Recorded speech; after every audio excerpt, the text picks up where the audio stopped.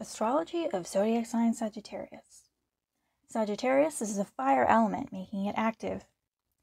It's the mutable quality, making it flexible. Its planetary ruler is Jupiter, planet of expansion. It's symbolized by the archer, the adventurer.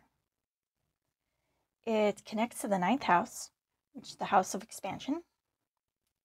Its color is purple, color of wisdom.